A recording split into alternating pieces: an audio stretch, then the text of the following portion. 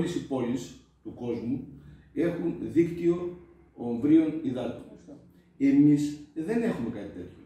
Φτιάχτηκε η Κάλυμνος, πέρα από το δίκτυο της αποχέτευσης, δεν έχουμε φτιάξει δίκτυο ομβρίων υδάτων. Μεμονωμένα, αποσπασματικά σε ορισμένα ναι, ναι, ναι. σημεία έχουμε κάποιους τέτοιους, κάποιους τέτοιους αγωγούς. Όμως αυτό οφείλουμε πλέον να το δούμε. Οφείλουμε πλέον να δούμε πώς μπορούμε να διαχειριστούμε τα όμβρια ύδατα εντός της πόλης και πού θα τα οδηγήσουν. Αυτά τα πράγματα επομένως όφιλε τόσο η ΔΕΙΑΚ, τόσο η σημερινή Δημοτική Αρχή και να τα εξετάσει και να δει πώς μπορεί να τα διαχειριστεί για να μειωθεί λοιπόν, ο όγκος των υδάτων ο οποίος κατεβαίνει κάτω.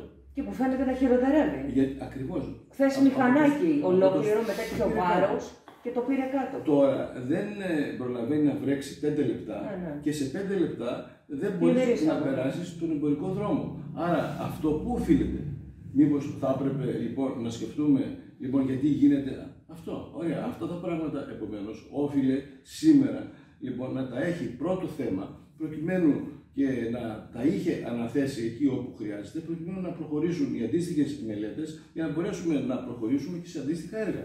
Το να τα λέμε μόνο σε λόγια και αυτό το πράγμα να μην γίνεται, ε, θεωρώ ότι απλώς κοροϊδεύουμε και τους εαυτούς μας και, και, και την κοινωνία.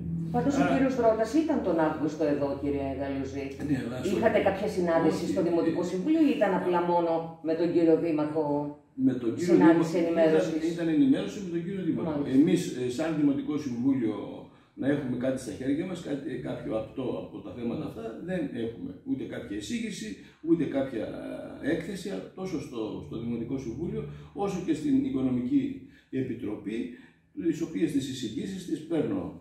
Λοιπόν, τουλάχιστον μέχρι το τέλος του, του χρόνου δεν είχε έρθει τίποτα στα χέρια μας.